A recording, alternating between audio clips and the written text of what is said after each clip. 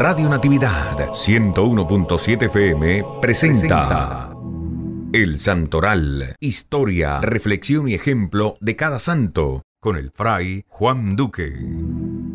Hoy 12 de enero recordamos a San Arcadio.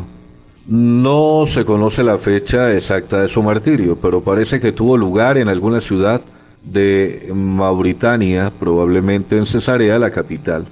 Las persecuciones estaban en todo su furor y miles de cristianos eran torturados por los soldados romanos, sin esperar la sentencia del juez.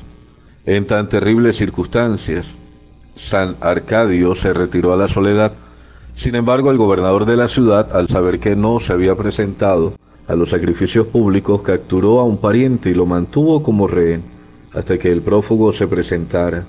Al saberlo, el mártir volvió a la ciudad y se entregó al juez, quien lo obligó a que se sacrificase a los dioses.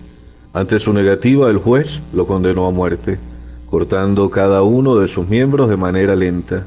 Al encontrarse totalmente mutilado, el mártir se dirigió a la comunidad pagana, exhortándolos a abandonar a sus dioses falsos y adorar al único Dios verdadero, el Señor Jesús.